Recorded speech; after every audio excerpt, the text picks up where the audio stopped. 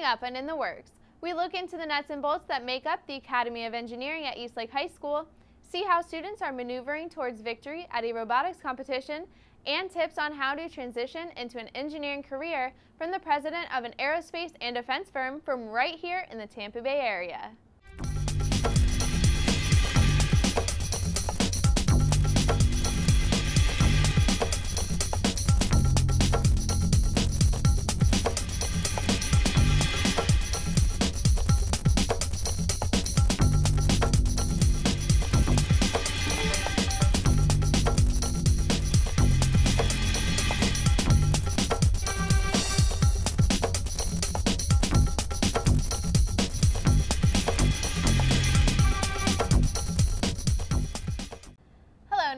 In the Works, a show that highlights the very best programs throughout Pinellas County that prepare students for career or college after graduation. I'm Jamie Dempsey. And I'm Victoria Horn. Each episode will highlight a different career academy, magnet program, or other opportunities for students in the district. Today we are featuring the Academy of Engineering at Eastlake High School. The Academy of Engineering at Eastlake High School has helped students challenge themselves academically and prepare them for a career. Students are taught industry-specific skills in the classroom, make connections with engineering firms through internships, and gain insight into what to expect in the workforce. Eastlake High School has one of the most prestigious engineering programs in the country, taught by instructor Paul Wanish. We uh, incorporated our program in 2003 as a not-for-profit foundation. Uh, and the Career Tech Ed Foundation is what started the funding of the program. Uh, my wife and I, when we sold our company, determined that it would be nice to give something back. And so we took money and started a not-for-profit, and, and that's what started the program. As students heard the success stories from recent graduates, the program's popularity grew. They've definitely, I've watched them, I've seen their accomplishments, and they're definitely excelling in all everything that they do. They're very dedicated and they put their minds to things, and uh, they're definitely a big role model for me that I know that it is possible to be able to complete the engineering and excel in that. When Wanish was younger and in high school, students did not have the courses available that they do today. We had uh, wood shop, metal shop, but uh, the intensity, uh, the level of learning that takes place in this program is much higher than that.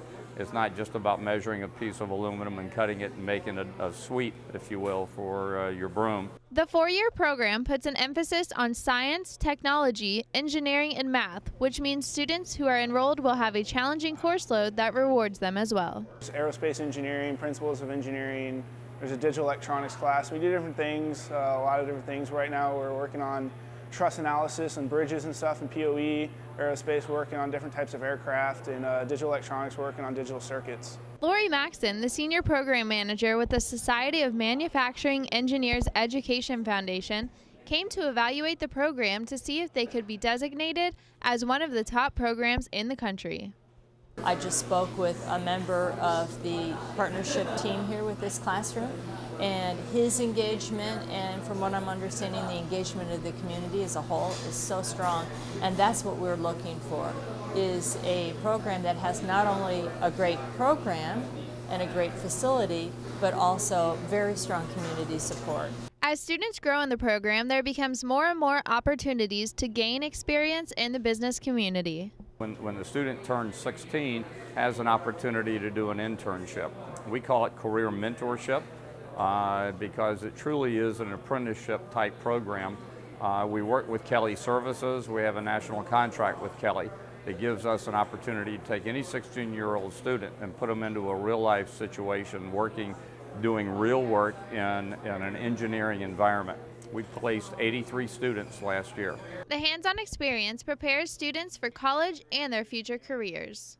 It prepares you really good because there's a bunch of steps that take you to, closer to college. And as you get higher, there's different difficulties you could take to just prepare you more. When Wanish started the program, his goal became building a better future for his students.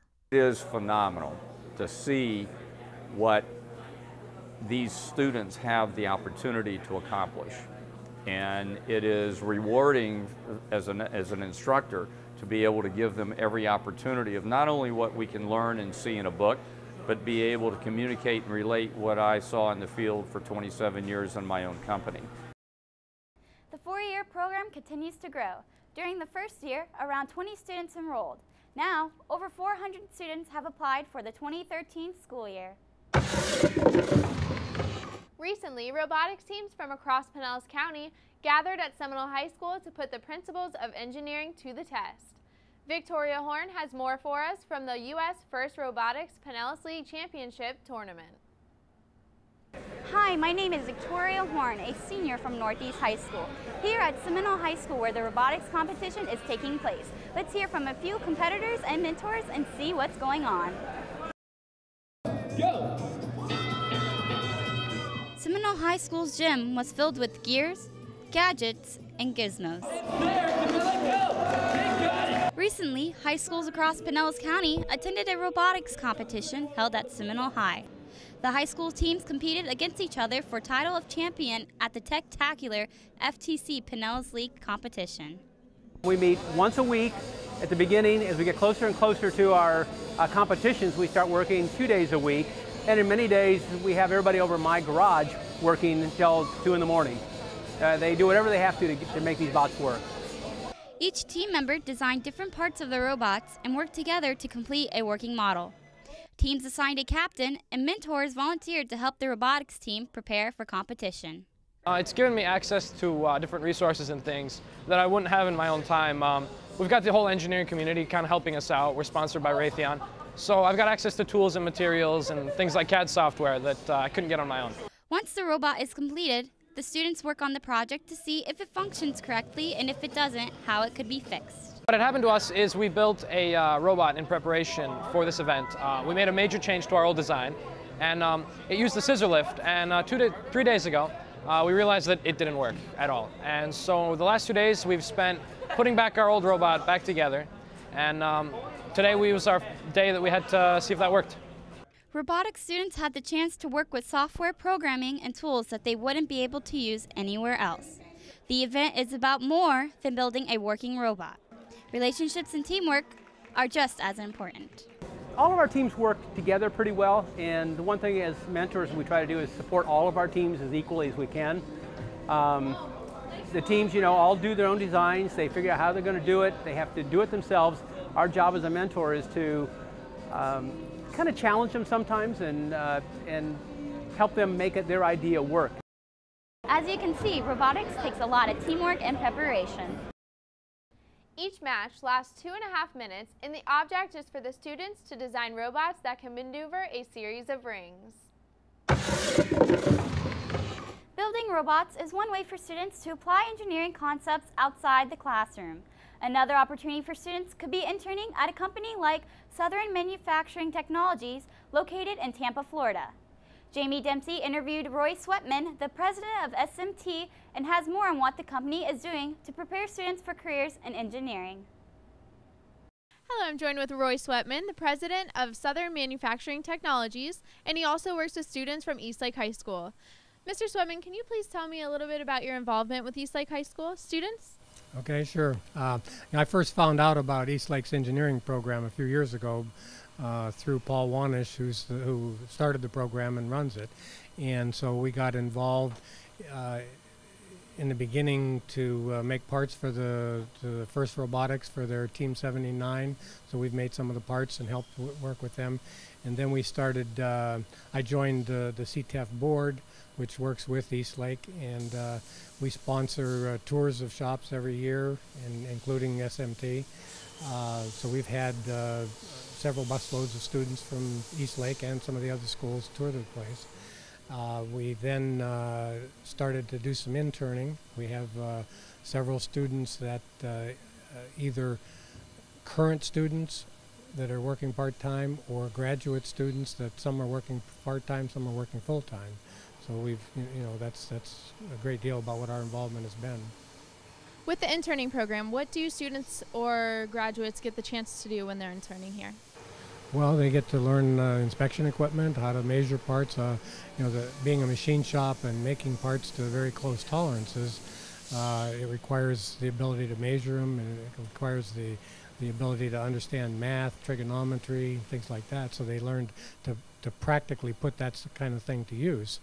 Uh, they also get to work on the machines. We've we've taught them how to, to run the machines. Uh, uh, one of the graduate students, it's who's now going to to college at USF, uh, is uh, he's been working out very well. He works full time for us, and uh, you know does setups, and has become a real big part of the company. How does starting at the high school level help students in their future career as an engineer? Well, the I, I, you know I think it gives them the the the exposure to see what the practical use of whatever engineering is is uh, involved with. Uh, they get to see if they're going to design something, a mechanical component. They get to see how we make it, what we have to do to figure out how to make it. Uh, you know, they get the hands-on experience, learn how to hold tolerances so they don't design something that's uh, too difficult or costly to make. Um, I, I, think every engineer should have uh, hands-on experience to, so they really know what they're what they're designing and talking about. Now, I know that you specialize in making parts for aircraft, aerospace, and defense. What do you think that is the most important thing that students need to learn before they go into the industry? Well, they just they need a good background in, in STEM education. You know, uh, math and and uh, you know those kinds of things are what's invaluable. We, if you don't know that, then we have to teach that. So. Uh, you know, to be an engineer, to, to be one of our machinists or setup people or programmers, you really need that background to understand the math. How do classes now compare to classes before, comparing difficulties? Well, you know, it was a long time ago that I was in high school, so uh, things have changed a great deal. I mean, we didn't have computers back then. Uh, you know, I learned how to do things on a slide rule, if you can believe that, if you even uh, have heard what a slide rule is. But, um, you know, today's with the computers, a lot of the stuff that we used to have to figure out manually is, is, is computerized and, and so they, they have to be more knowledgeable of the computer and use that to, to get the same kind of stuff done and do it much faster. Same thing when they go to use our machines. All our, or the majority of our machines are computer controlled. So learning how to use those, understand the programming language, program them, you know, all that kind of stuff is, is kind of what they learn, you know, with today's computer environment. Well, thank you so much for joining us today, and we can't wait to see what more that you have in store for the Eastlake students.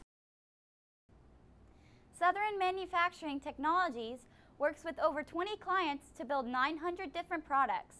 They ship over 20,000 items each month. It's time for our In the Works career question. Which country has the world's largest manufacturing economy? A. China, B, the United States of America, C, Japan, or D, Germany? The correct answer is B. According to the World Bank, the United States of America produces 18.2% of the globe's manufactured products. That's all the time we have for this edition of In the Works. Don't forget, you can check out all of our episodes anytime online at newsroom.pcsb.org. Or you can catch us on the Pinellas County Schools TV station, WPDS. I'm Jamie Dempsey. And I'm Victoria Horn. We'll see you next time.